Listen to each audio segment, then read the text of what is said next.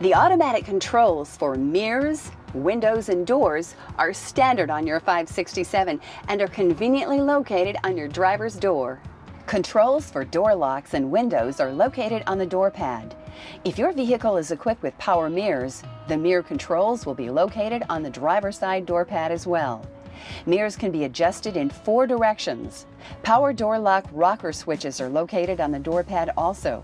To lock or unlock both cab doors as well as a sleeper door, depress any door lock switch that displays a padlock symbol. Power window rocker switches are located on the door pad also. Depress the switch to open the window or pull up on the switch to close the window. The driver's side window has an express down feature. Pushing on the switch all the way down until the switch bumps will activate it.